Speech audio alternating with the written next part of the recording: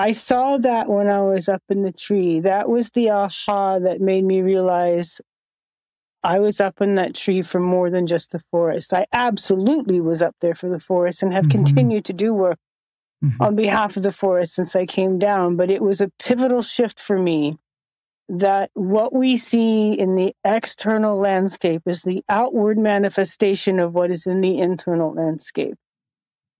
That the wounds that exist on the planet and in our communities and in our world are the wounds that exist within us first, and then we act them out on the external landscape. That if they weren't inside of us first, we wouldn't see them out there. Mm-hmm. They're only there because they exist within us first, and then we act them out out there.